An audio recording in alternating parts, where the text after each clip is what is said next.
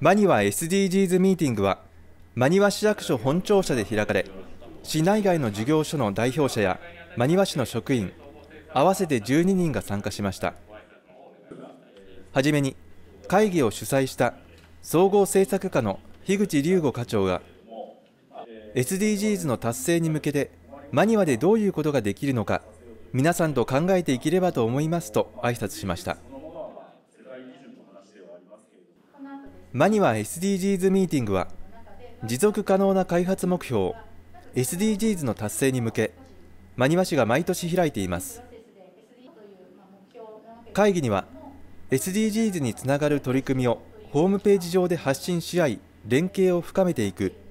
マニワ SDGs パートナーに登録した事業所の中から希望者が参加しています。今年度は合わせて3回の会議を行い SDGs を先に考えるよりも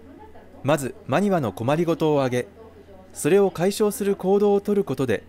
結果的に SDGs の達成を目指していこうとしています。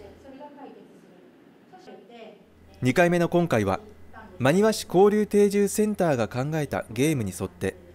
参加者が真庭の困りごとを挙げていきました。参加者は3人1組のグループに分かれ1から17までの目があるサイコロを1人ずつ順番に振りました。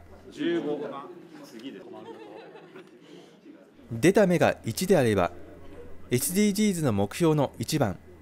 お金がなくて生活に困る人をゼロにしように合わせた困りごととして貧困を救済するための制度や仕組みを知らないといった具合でマニュアで実際に困っていることを発表します。そして他の参加者に共感してもらえたらゲーム上の仮想通貨ゼニーを受け取ることができゼニーを最も多く持っている人が勝ちとなります。参加者全員が必ず意見を出せる仕組みで次々に困りごとが上がっていました。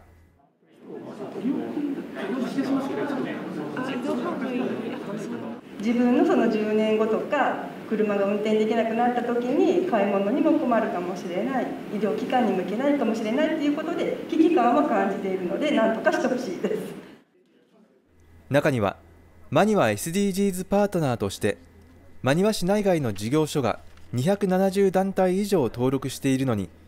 この会議に参加する人が少ないといった意見もありました。真庭市ではこの会議を次回12月初旬に開く予定で困りごとを解消するための行動について話し合うということです。